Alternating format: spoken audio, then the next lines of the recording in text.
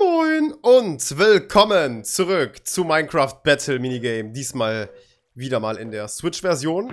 Und ich muss ganz ehrlich sagen, mh, nachdem ich diese wunderschönen Wii U-Parts rausgepfeffert habe wie nichts anderes, ich weiß nicht. Ich hätte nicht gedacht, dass das Desinteresse an der Wii U-Version so groß ist. Es liegt mir nicht irgendwie an der Resonanz oder so. Darum geht es mir nicht. Es geht mir vielmehr um die Kommentare, die ich bekommen habe, von wegen so, ja, wir wollen keine Wii U-Version sehen, wir wollen die Switch-Version sehen. Und ich denke mir so, warum? Was in aller Welt motiviert euch dazu, diese Version hier mehr zu beachten oder dieser Version mehr Beachtung zu schenken als der Switch-Version? Also das ging nicht so ganz in meinen Kopf rein. Also viele von euch haben die mm, Switch-Version präferiert und die Wii U-Version totgeredet. Dabei liegen die Vorteile der Wii U-Version doch eigentlich auf der Hand. Ja, mehr an Maps und so weiter und so fort. Ich habe ja auch den Kommentar bekommen, wenn du schon die Wii U-Version spielst, dann nimm auch nicht diese vier Standard-Maps mit rein. Beziehungsweise drei, aber ihr wisst, was ich meine. Die Bucht-Map, die Schmelztiegel-Map, die äh, Strand-Map. Oder heißt sie Bucht? Ich glaube, die könnte sogar Bucht heißen. Und ähm, Natürlich die Tal-Map. Die soll äh, auch nicht in der Wii U-Version drin sein, weil die gibt es ja auch hier bei der Switch. So. Finde ich vollkommen okay, dass das einige von euch gesagt haben. Wobei ich ja sowieso die Bucht, Schmelztiegel und Höhlenmap rausgelassen habe, so gut wie ich eben konnte. Mm. Die Tal-Map war zwar mit drin bei diesen Wii U-Parts, aber ansonsten, okay, ich weiß Bescheid fürs nächste Mal. Entschuldigung, es tut mir sehr leid, ja. Aber ernsthaft, so viele haben in die Kommentare geschrieben, okay, nicht die Wii-Version. Mensch. So viele hatten halt keinen Bock darauf, dass ich halt die Wii-Version spiele. Und ich verstehe nicht, warum. Grafisch unterscheidet die beiden Versionen, Switch und Wii U, nichts voneinander. Gar nichts. Höchstens die Auflösung oder vielleicht die Framerate hier und da mal. Die Ladezeiten, okay. Aber ansonsten sind beide Versionen doch gleich. Und die Unterschiede merkt man jetzt auch nicht so gravierend. Also ich will damit sagen, dass die Unterschiede auch nicht so gravierend sind, wie man sich das vorstellt. Oder wie man sich das denkt. Naja, gut. Ich habe halt wirklich mehr Kommentare bekommen, die gesagt haben, dass ich doch bitte mal die Vio-Version weglegen soll. Ja, dass ich mich davon verabschieden soll. Und wenn ich das nicht tue, dann kann ich mich auch direkt mal weghängen. Heilige Scheiße, von wo kam der denn? Ich hab mich gerade eben so ein bisschen angehört wie Donkey Kong aus Donkey Kong Country Returns, nachdem ihm die Bananen geklaut worden sind. Irgendwie so. Ja. Okay. Aber ich sag mal so, ich werde weiterhin die Wii U-Version spielen und sie auch aufnehmen weil ich weiß, okay, es gibt zwar Leute, die sich darüber aufregen, dass ich sie spiele. Es gibt aber auch genauso viele Leute mindestens, die es freut, dass ich diese Sp Version spiele, weil gerade dort mehr Maps verfügbar sind und so weiter und so fort. Ne? Und ach, wisst ihr, dieses ganze Problem um den Maps und so weiter, das wird ja nicht bestehen, wenn das Better Together Update bald mal draußen ist, womit wir dann natürlich auch eigentlich kein Battle Minigame mehr spielen müssten, weil wir Zugang zu so vielen Maps haben. Wir könnten auf Server gehen und dort ein bisschen Action machen. Klar gibt es da auch hier und da die gleichen Maps, gerade wenn es um Survival geht oder so. Es gibt ja auch abgewandelte Formen von Battle Minigame. Das nennt man dann, glaube ich, im Volksmund Survival. Oder, ja doch, Survival Games nennt man das, glaube ich. Oder Quick Survival Games. Und da gibt es ja auch Unmengen an Maps auf Unmengen von Servern, auf denen wir spielen können. Na? Ich würde dann eigentlich eher sagen, dass täglich dann diese Minigame-Parts kommen, statt Battle-Minigame, wo wir dann wirklich nur einen Bruchteil an den Maps haben, die wir uns... Oh, was heißt Bruchteil? Ich sag mal so, es gibt nochmal viel mehr Maps, die qualitätsmäßig so daran äh, äh, anschließen können. Und sich auf keinen Fall Zacken aus der Krone brechen, wenn es darum geht... Oh, sehr intelligent, Dankeschön. Wenn es darum geht, zwischen Battle Minigame... Ah! Oh, du kleines Schwein hier, du Sau! Okay, ich denke, ich werde gleich rausgekickt. Oder er macht jetzt gleich den Raum zu, weil er gestorben ist. Und ich glaube, er ist der Host. Ich glaube, er ist ein schlechter Verlierer. Aber okay. Ja, also ich will damit sagen, es gibt halt so viele Maps, die vom Look, vom Aussehen her mindestens genauso gut aussehen, wenn nicht sogar besser auch sind als äh, diese Maps hier, die wir hier äh, spielen müssen, weil es halt nichts anderes auf der Switch-Version gibt. Ja? Switch, ihr habt es gesehen. Hätte ich jetzt auch rein editieren können, ne? Tja. Vielleicht habe ich das sogar, lol. Vielleicht spiele ich ja doch die Wii U-Version, lol. Ach ja, und wie willst du das hier rein editieren, Kai? Keine Ahnung, das hast du jetzt gesagt. So.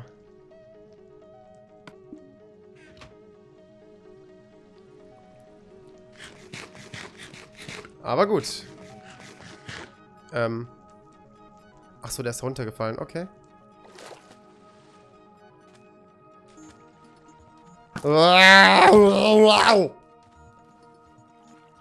Oh. Hauli. Danke sehr, Tom Schniedel, für deine Mithilfe. Dankeschön. Hm. Aber ich denke, wir können heute ja mal so ein bisschen darüber reden, wie denn der Videofluss an Battle Minigame und so weiter Minigame aussieht, sobald das Better Together Update draußen ist, ne? Ich sage mal so. Sobald dieses Update draußen ist und ich sowieso auf jeden Server gehen kann, ich bin mir nicht sicher, ob ich Lust hätte, dieses Let's Play weiterzuführen. Also ich kann, ich kann mir natürlich vorstellen, hier und da noch ein paar Parts in der Woche zu bringen. So mal so eins, zwei Parts am Wochenende, aber täglich werdet ihr dann versorgt mit den besten Maps und den, äh, naja, ich sag mal, ja gut, die besten Maps, das, das werden wir sehen. Wie gesagt, ich kann mir gut vorstellen, dass die Maps qualitätsmäßig an den jetzigen anschließen können, wenn nicht sogar besser sind. Aber wir haben dann mehr Variation für den Anfang. Vielleicht sogar auch mehr Spaß. Mehr Stabilität, weil das Ganze dann über richtige Server läuft, ja.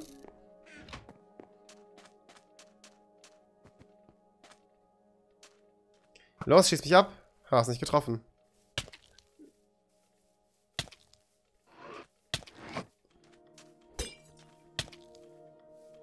Du Schwein!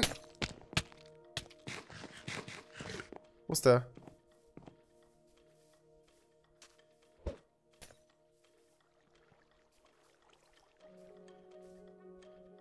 So, du so, damit du nicht mehr so schnell wegrennst hier. Du kleines Schwein. Will sich da einfach wer weg, Aluakbahn? Komm ran, es wird Zeit, dass du endlich mal sterben tust. Ja.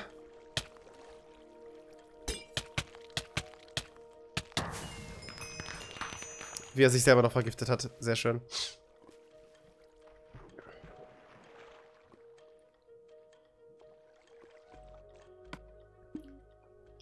Also ich weiß zwar nach wie vor nicht, wann dieses Spiel oder dieses wunderschöne Better Together Update rauskommt. Keine Ahnung. Ich hoffe immer noch auf einen Release im Februar, März. So, oder ich hoffe immer noch auf eine Nintendo Direct, die uns auch vielleicht was zu diesem Update sagt. Und nicht nur etwas, sondern auch, wann es kommt. Oder ist das zu viel verlangt? Ich bin mir nicht sicher. Und voller Raum.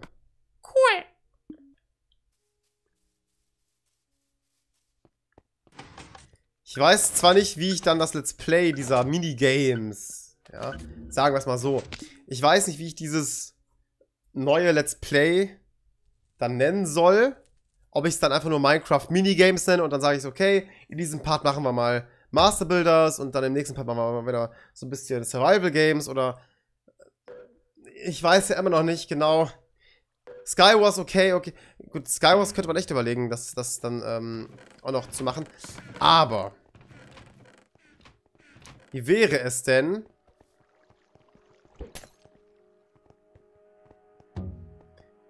wenn wir vielleicht sogar aus den einzelnen Rubriken auch eigene Let's Plays machen. Das heißt, wenn wir halt Sky Wars spielen wollen, nennen wir das Let's Play halt eben... Okay, du bist scheiße gruselig, Alter. Mach dich weg, du Sau. Äh, dann nennen wir das Let's Play halt einfach dann, wenn wir Skywars spielen, Minecraft Skywars. Ich habe ja eigentlich schon ein ähm, existentes Skywars Let's Play.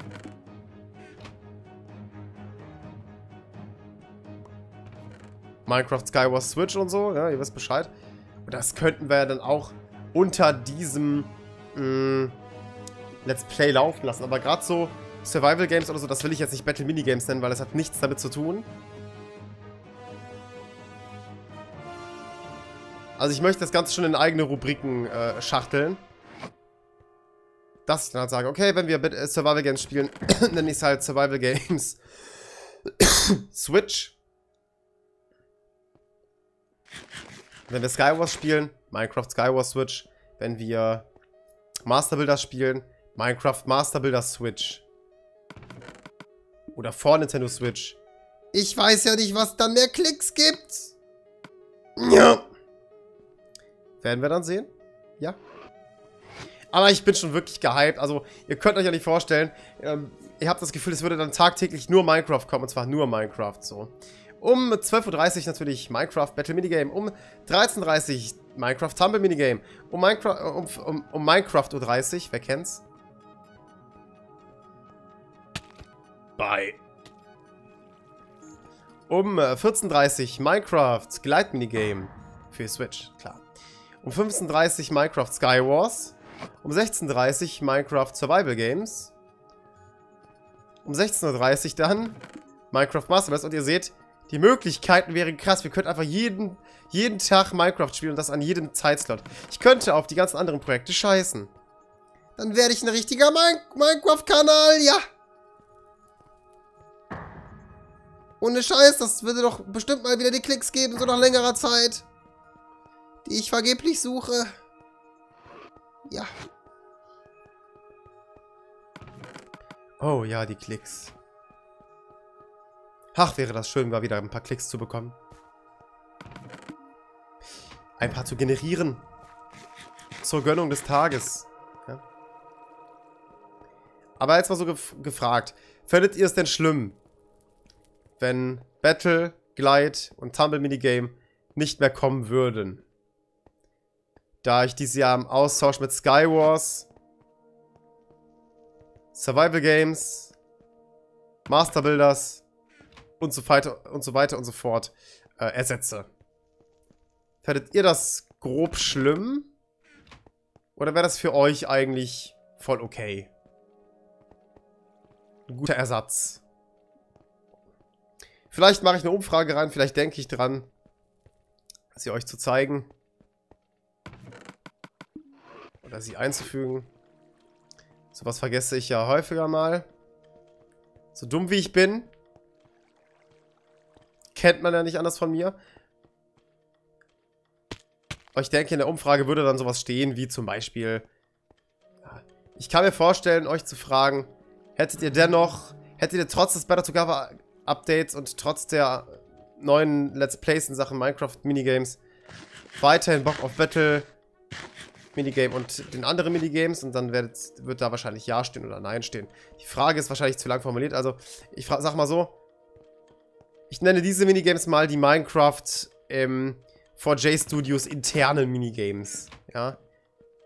Die hausgemachten.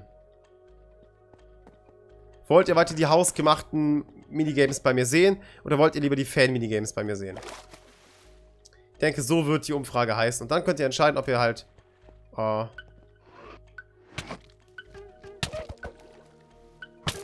oh, du Sau.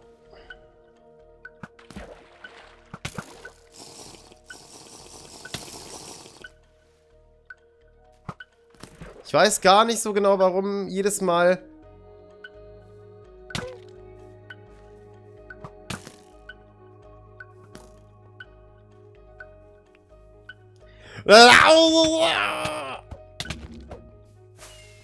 Scheiße. Ich weiß gar nicht so genau, warum jedes Mal, wenn ich irgendwie zuschlage oder Truhen öffne, warum diese Shortcut-Auswahl unten immer zum rechten Kasten geht. Zum Beispiel jetzt, wenn ich jetzt, äh, wenn ich jetzt hier zum Beispiel mein Schwert habe und ich mache eine Truhe auf. Ah, oder liegt es vielleicht an dem L-Knopf. Dass, dass man mit dem L-Knopf nämlich alle Items in seinen, in seinen Kasten sieht. Liegt das daran? Womöglich. Ja, toll. Hätten sie auch irgendwie entfernen können. Das ist ja so ein grober kleiner Spielfehler, der mir jetzt erst auffällt. Cool, cool, cool, cool, cool.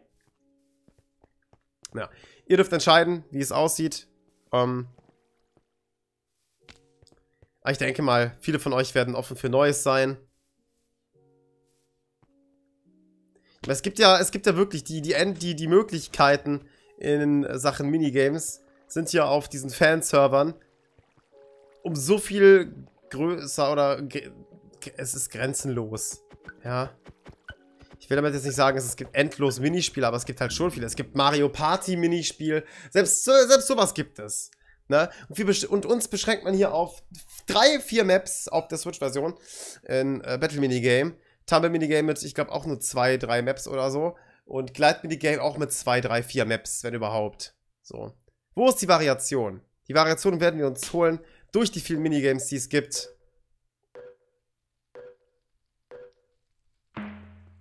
Und durch die vielen Maps, die es gibt. Also ich sage mal so, Variation ist auf Trocken am Start, meine 1.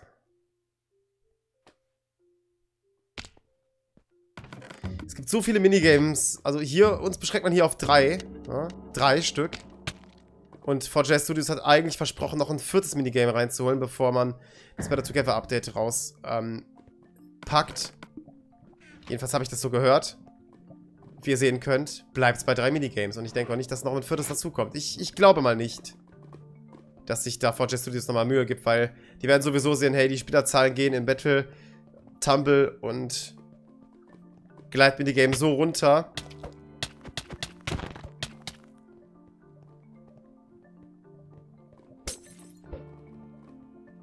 Scheiße!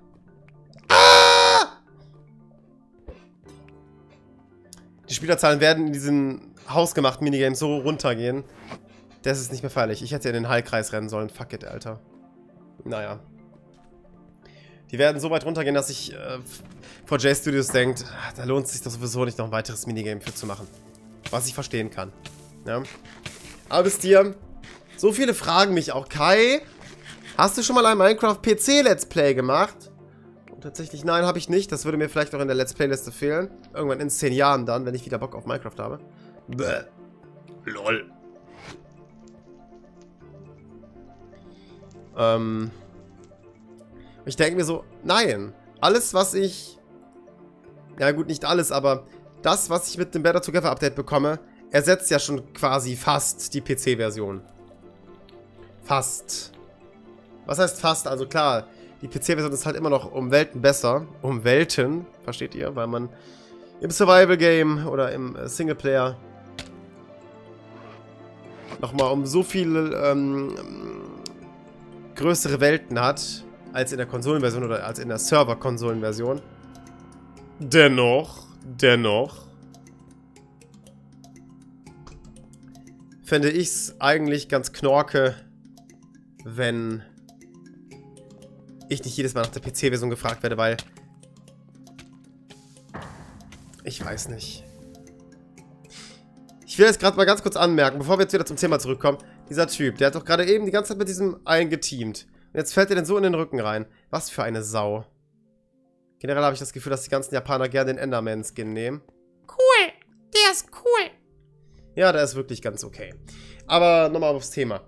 Ich werde halt wirklich des Öfteren gefragt, Kai, wie sieht's aus? Spielst du auch mal die PC-Version von Minecraft? Hast du dir mal gespielt? Und wie gesagt, es gibt ein Let's Play und das nennt sich Minecraft Triforce. Wer das gucken möchte, kann das tun. Das ist ein äh, Multiplayer-Let's Play. Äh, in etwa zwei Jahre alt. Und das haben wir halt wirklich original auf dem PC aufgenommen. Ja? So. Guckt euch das an. Um euch die Wartezeit auf Community, die ganzen Minigames. Better, äh, ja gut, Better Together ist ja das gleiche. Und natürlich... Oh, was gibt's, was war... Ähm, das Showcase Let's Play mit dem Super Duper Texture Pack, ja. Versüßt die Wartezeit ein wenig mit diesem wunderschönen Let's Play. Oh. Und dann wisst ihr Bescheid. Aber ich denke, allzu viel habe ich hier nicht mehr zu erzählen. Ich glaube, ich habe alles gesagt, was ich sagen wollte. Generell ist das Thema auch sehr spontan entstanden. Ich wollte eigentlich heute über Arena of Valor reden. Aber dann ist es halt beim nächsten Mal dran. LOL! Mehr Themen! Sehr gut! Aber ja, Minecraft. Minecraft, Minecraft. Was gibt's denn Schöneres auf der Welt? Ich denke wenig. Ich denke, da haben wir doch kaum Spiele, die diesem Spiel hier Einhalt gebieten können oder die diesem Spiel das Wasser erreichen können.